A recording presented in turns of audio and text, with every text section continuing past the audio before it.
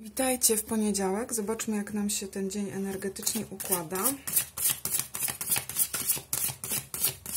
Poniedziałek.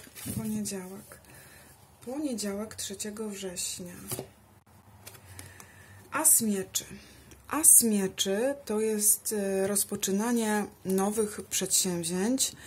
E, to jest zupełnie coś nowego, podpisywanie umowy. E, to jest e, tutaj też e, żegnanie się ze starym i witanie czegoś nowego. To są również takie mm, sprawy, w, w których my jesteśmy, w które my jesteśmy zaangażowani intelektualnie. Także tutaj dużo myślenia nas dzisiaj czeka w ten dzień myślenia o tym, jak wypaść, jak wypaść najlepiej.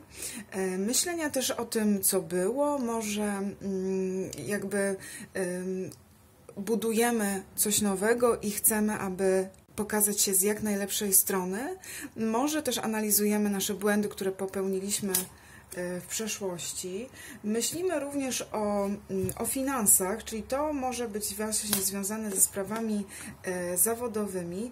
Zaczynamy coś nowego. Nawet jeżeli ktoś już jest, jest w tej rutynie, to ja mam wrażenie, że Wy dzisiaj będziecie mieć taki dzień, że e, Dobra, wrzesień, nowy wrzesień, nowy mm, początek. Zostało mi jeszcze trzy miesiące, cztery miesiące, trzy razem z wrześniem, październik, listopad, grudzień, cztery miesiące do e, końca roku, także teraz biorę się do roboty, zostawiam to, co było e, wcześniej, może nawet zostawiam jakieś plotki na, na swój temat, chcę jakoś oczyścić się, zacząć od nowa. No i Wy pokazujecie się e, w pozycji cesarza, także macie jak najbardziej na to, na to wpływ tak jakby. Tutaj wychodzimy, wychodzicie z, z, tej, z tego dnia w bardzo mocnej energetyce.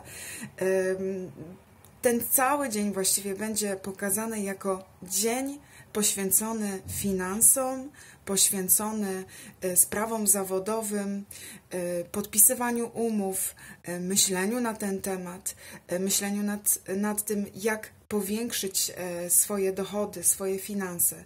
Także mocny dzień się zapowiada, ale mm, pozytywny, pozytywny. Także trzymajcie się. Papa. Pa.